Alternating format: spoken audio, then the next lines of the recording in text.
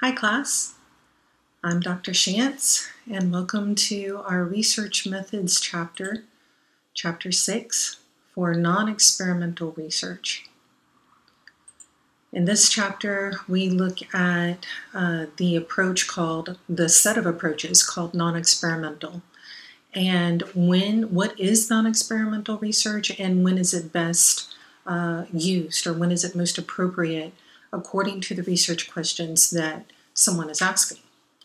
We'll look at types of non experimental approaches that they highlight in the chapter, like what they are, when to use them, how to use them, and some frequently asked questions that have come up in this chapter before. What is non experimental research? Well, recall in our prior chapter that experimental research was appropriate when the researcher has a specific research question or hypothesis about a causal relationship between two variables, and that it's possible, feasible, and ethical to manipulate the independent variable and control the extraneous variables by either randomly assigning participants to conditions in the between subjects uh, experiments or randomly order the sequences of the conditions when we're looking at the within subjects experiments. So that was before. Non experimental research is used when the question is not about a causal relationship or the study cannot meet the requirements of a true experimental design. And that happens often.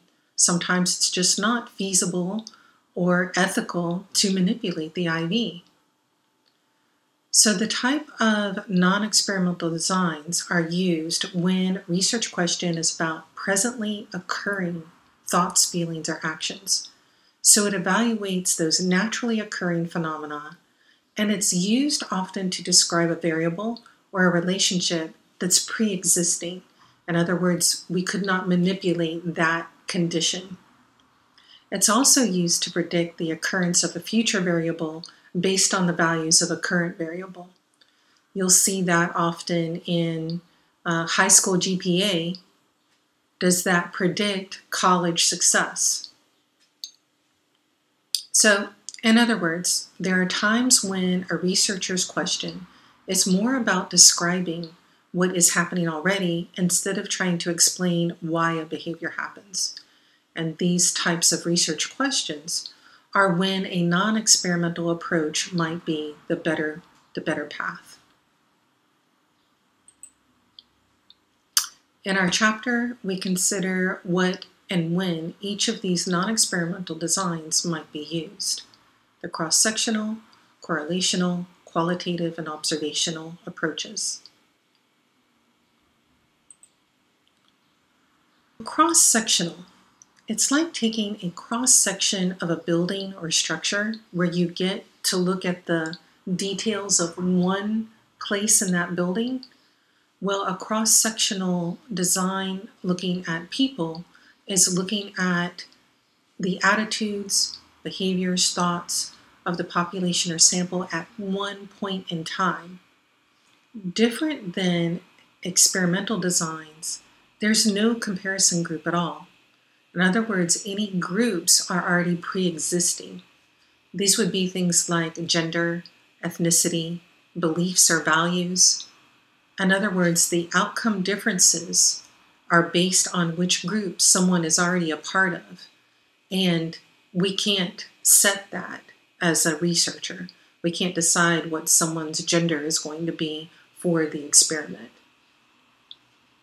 Um, cross sectional can also be extended into multiple time points, and that would be more of a longitudinal design. That would be like taking a cross section at, say, three months, and six months, and nine months, and 12 months. It's still not looking at a process, but it's getting those snapshots over time. And that's what a longitudinal design would be like. So an example of what this cross-sectional might look like, let's look at uh, Professor Bob's study, right? If he were to ask students about their plans after graduation and give them two options, Are they planning to go to grad school or planning to go to an applied or work position? Those two groups, going to grad school or going to an applied position, are already determined by the participant. The researcher can't manipulate that because that's the intentions and the values of those participants, right? So then you would have these two groups that are already pre existing. You could not like randomly assign them. So, a question that Professor Bob could ask to test are there differences in students' perceptions of research methods topics between the group of students who plan to go on to grad school and the group of students who plan to acquire an applied position? And that would be a typical research question that would work with this type of cross sectional approach. Let's look at correlational research.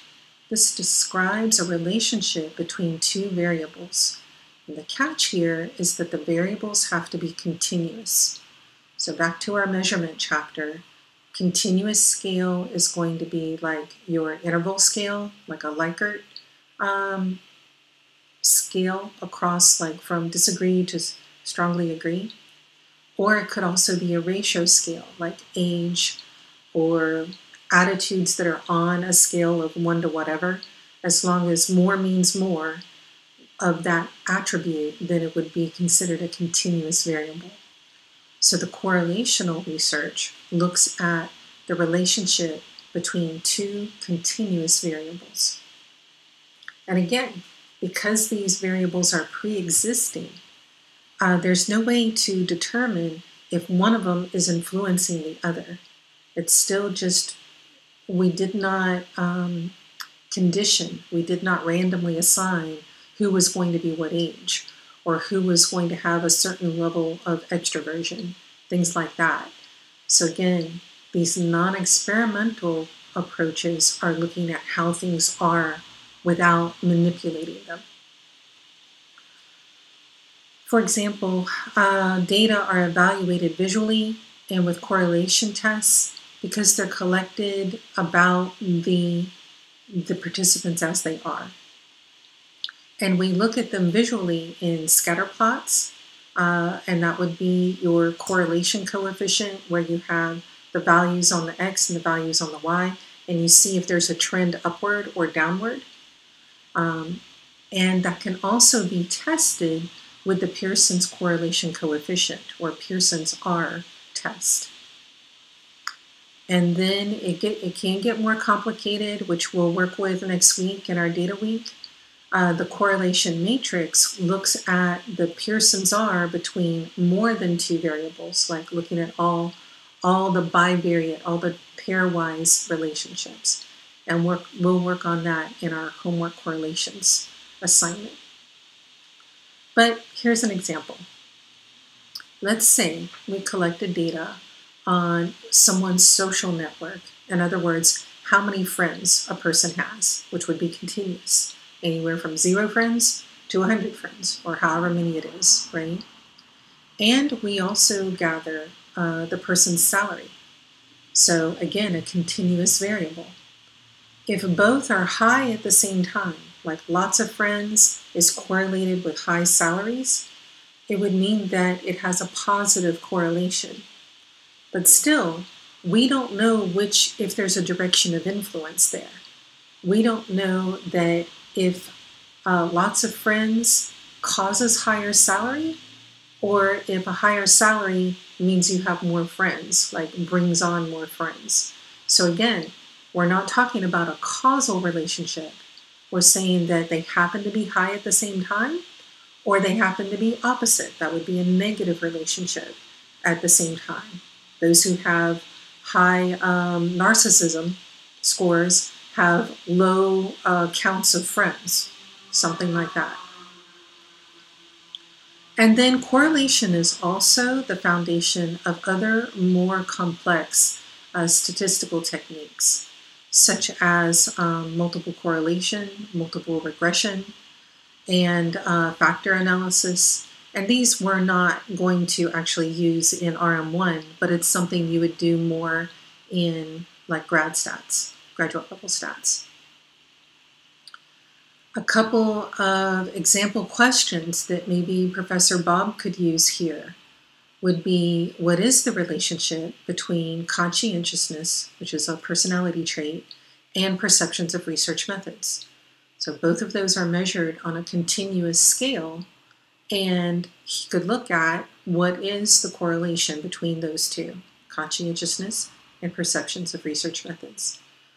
He could also look at uh, cognitive ability, which is on a continuous scale, and see if students with a higher cognitive ability also have higher perceptions of research methods topics. So, like I said, we will work more with correlations in our data week. And until then, just check out the guidance and videos for both installing JASP and getting acclimated to working with data. Uh, that's what we'll be working in with our Data Week module.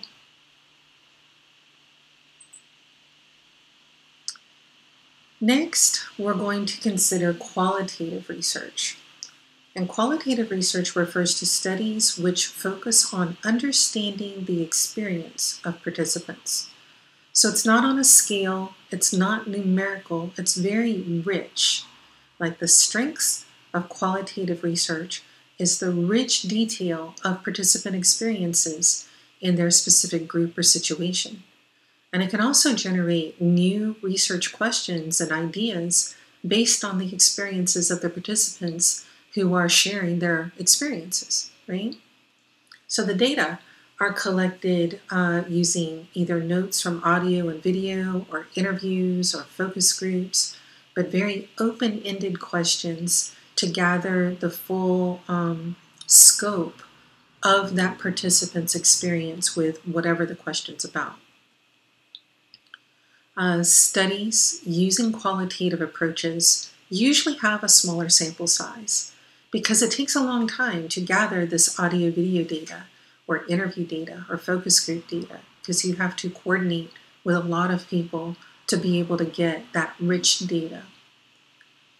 And data are processed by deriving themes out of the content of those interviews and the collected responses and also the notes.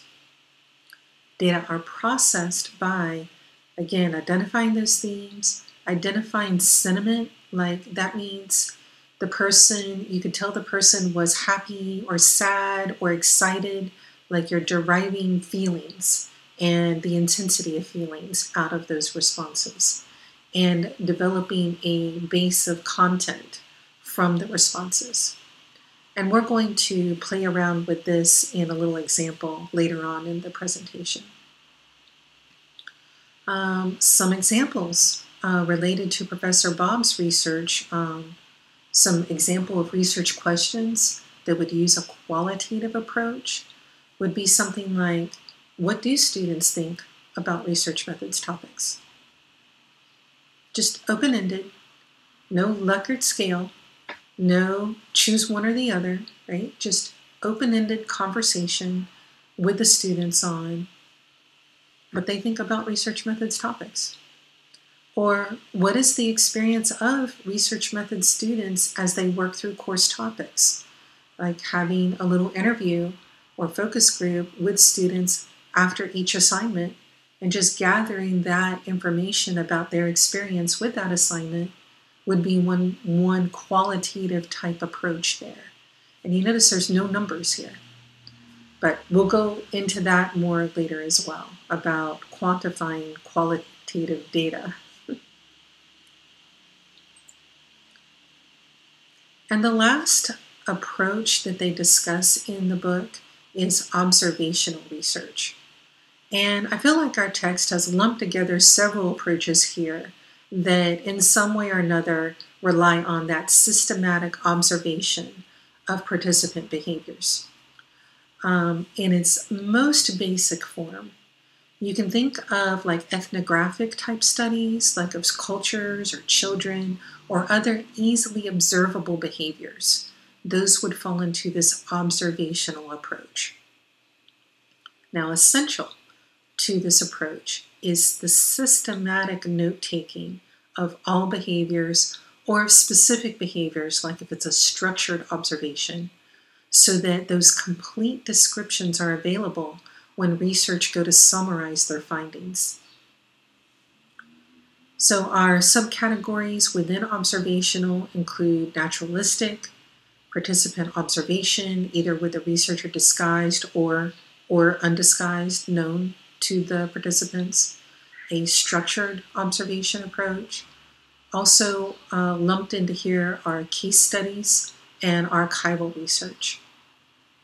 Now, archival research, I think the book added this one in because they were really unsure of where else to put it.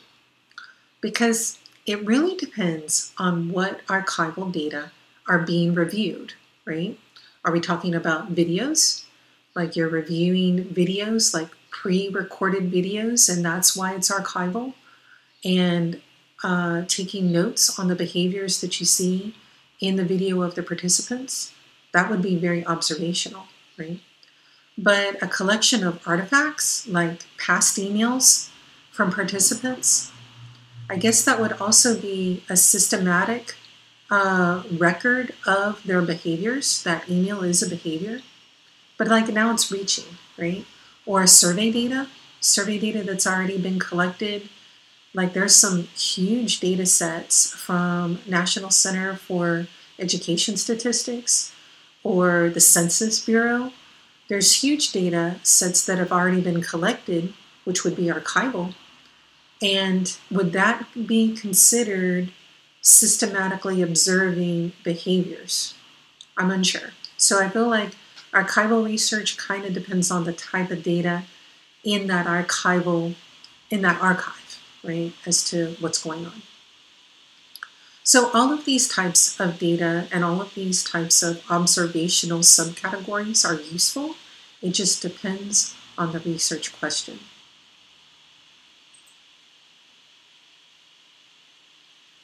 So here's frequently asked questions that I get, like, what is the difference between quantitative and qualitative? And which one's better? And it comes down to really, I feel like it helps to see that they're different in terms of the type of data that are being collected. Quantitative data is like immediately numerical, like age or a survey that's already on a Likert scale, that's very quantitative data there. Qualitative data starts out being that very rich type of data, um, like open responses and open conversations, even a structured conversation if it's not immediately numerical, it's more qualitative in, in its form, right? But a lot of times we take data and we quantify it. Uh, you'll see when we start working with our data set that we could have like groups, like let's say college year. One is freshman, two is sophomore, three is junior, four is senior. So it was more qualitative in nature, like a category, but we're quantifying it so that we can use it in analyses. So they do blend a little bit. But another way that they are very different is in terms of uh, reliability and validity. And again, reliability, think consistent.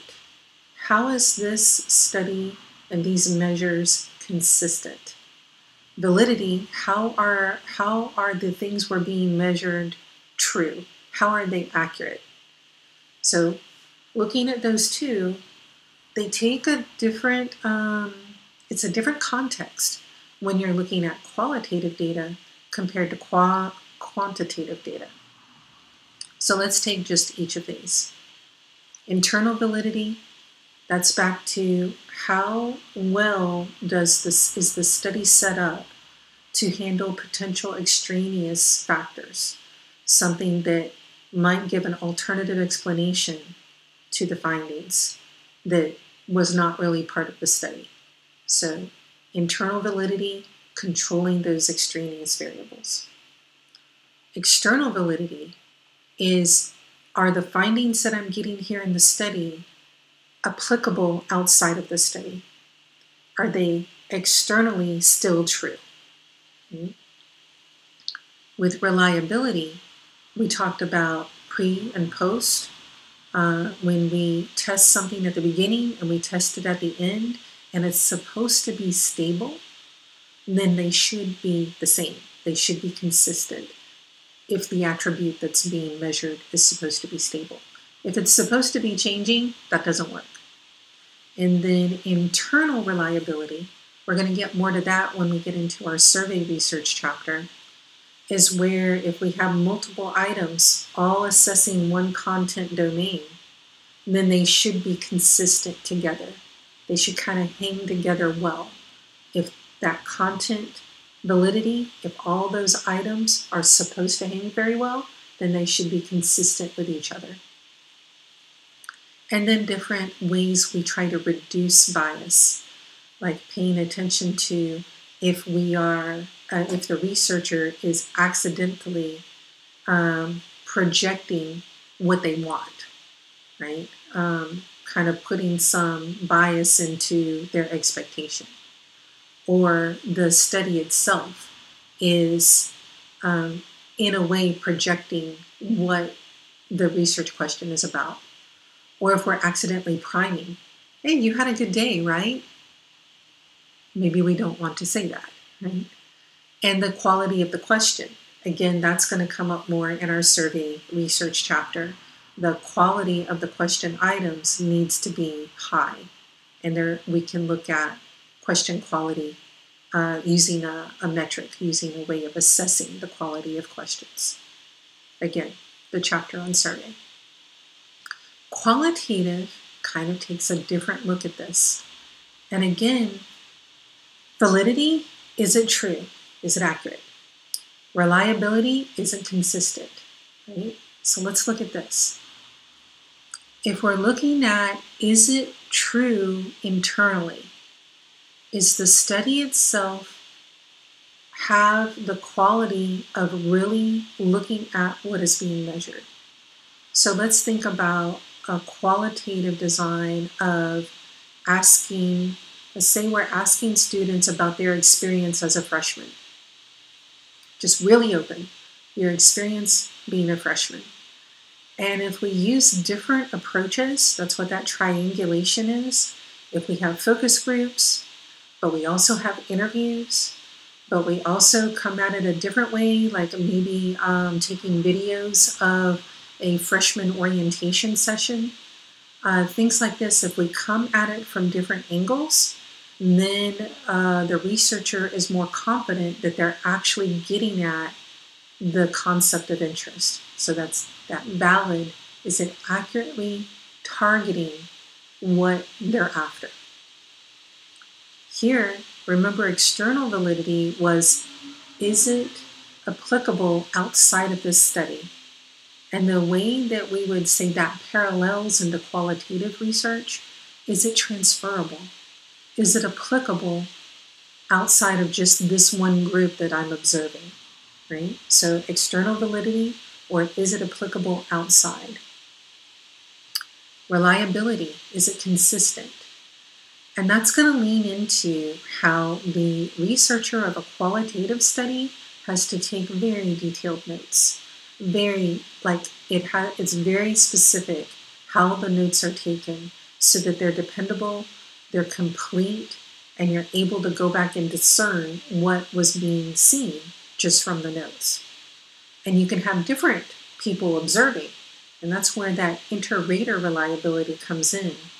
That if you have different people watching the same situation and they're all looking for the same behaviors to crop up, they should be kind of consistent to each other, right? Again, reliability is consistency.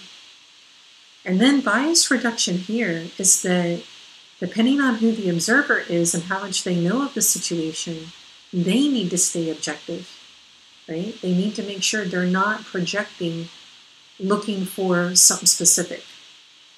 An example if you had observers watching a playground full of kids and looking for bullying behaviors.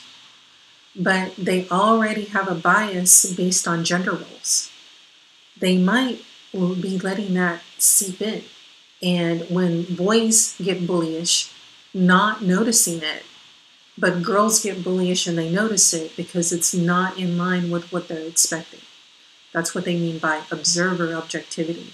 That the the observer, the researcher doing the observing, has to be super mindful of exactly what behaviors they're looking for and make sure they're not falling into a bias of only seeing what they expect to see, right? And then participant reactivity. Participants being watched kind of get a little like, hey, what's going on here?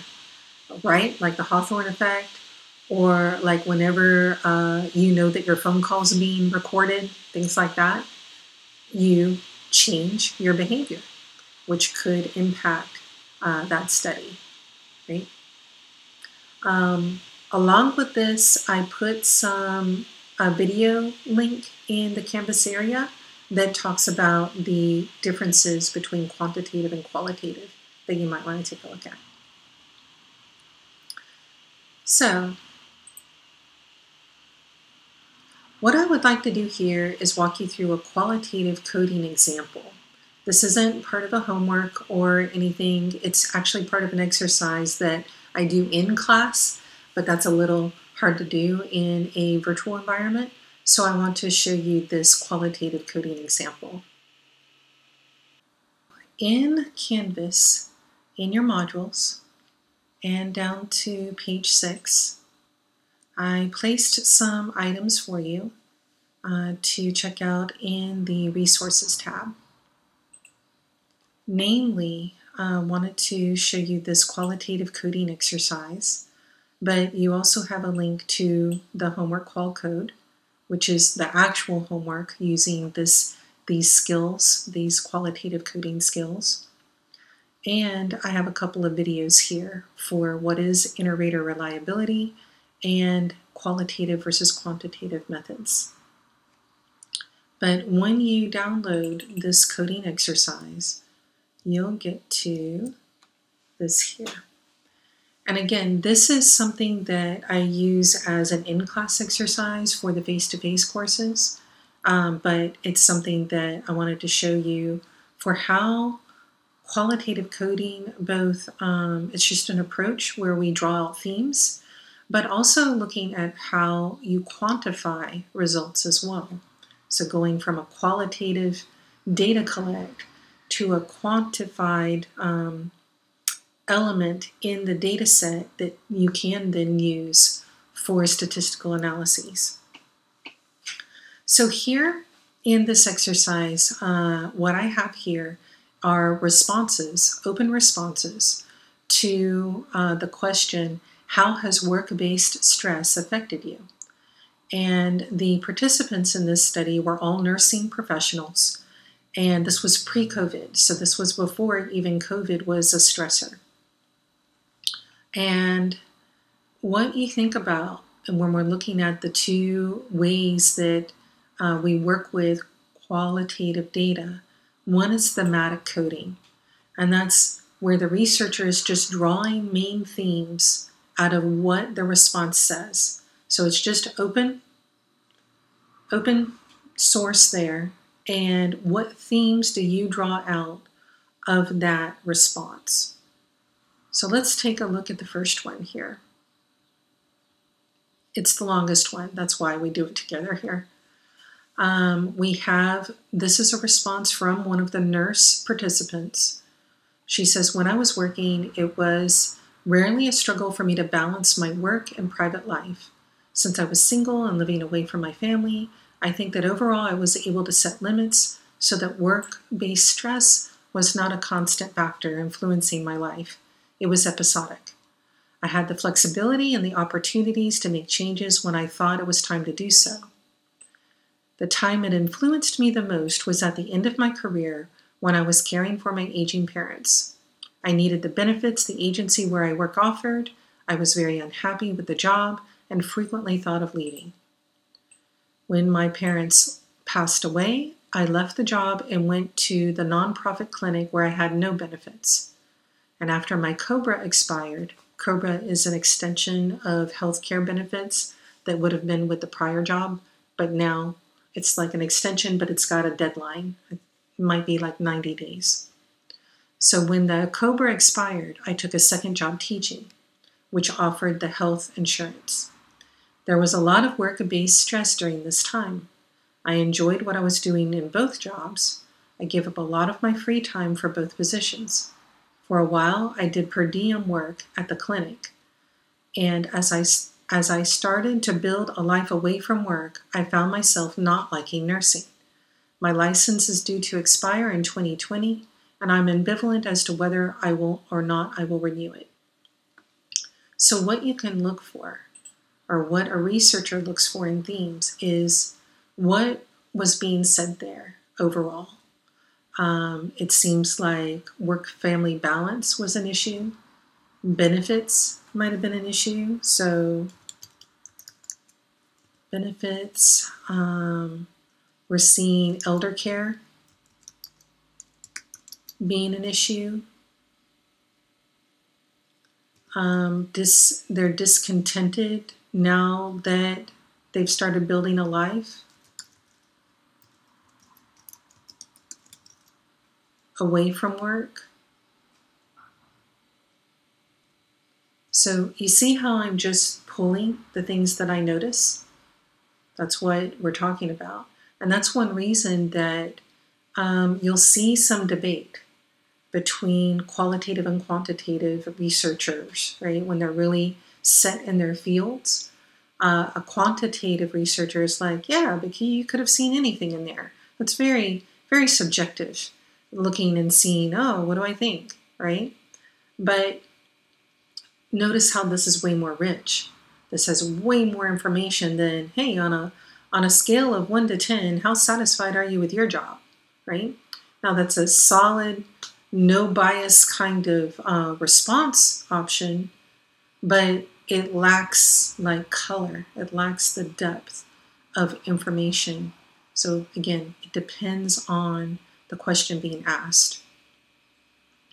So let me roll up to the other way. Quantifying responses. So if you looked through all of these, like there's a lot, that's number one, but the rest of them are shorter. But there's 24 cases there, 24 responses. Each of them are a different nurse participant in this study.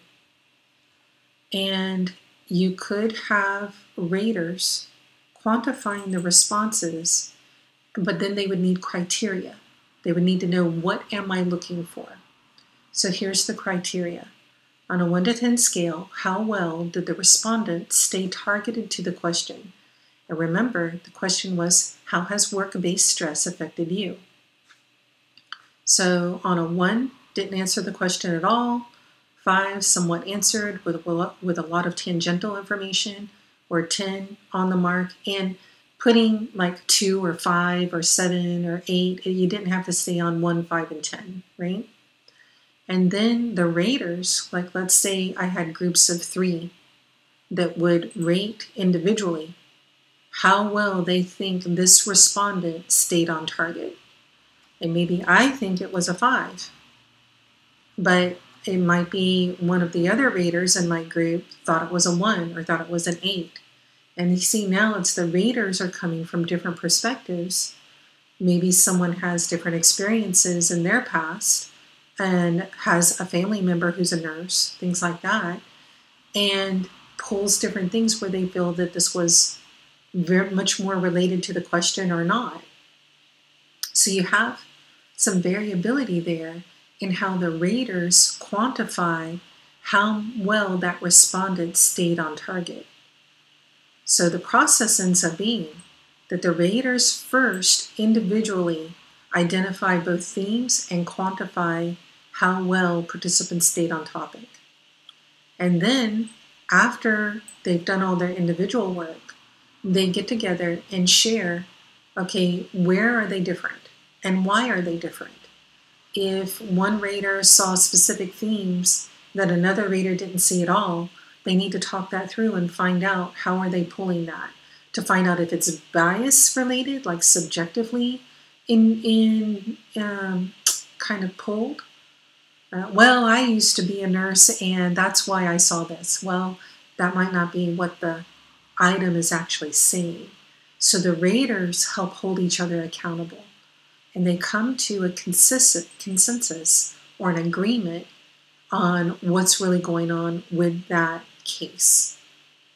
They also update their scoring criteria or update on their like directions what they should be looking for. So they might kind of get on the same page with this first 24 cases, and then they have another 200 cases to code. But they want to make sure that everyone is on um, a similar understanding of what you're looking for before they go and code the rest of the data. So that's how a qualitative uh, design might work, both in identifying themes and quantifying for something specific in a qualitative data set. Okay, well, thank you for spending time with me in Chapter 6 on non experimental. Some takeaways Non experimental cannot identify causal relationships, but they are approaches that are used when the research question is appropriate to non experimental approaches and when we're not looking for a causal relationship. The approaches include cross sectional, correlational, qualitative, and observational methods, and each method comes with different ways to collect data and analyze it using specific statistical techniques. Which one we use depends on the research question.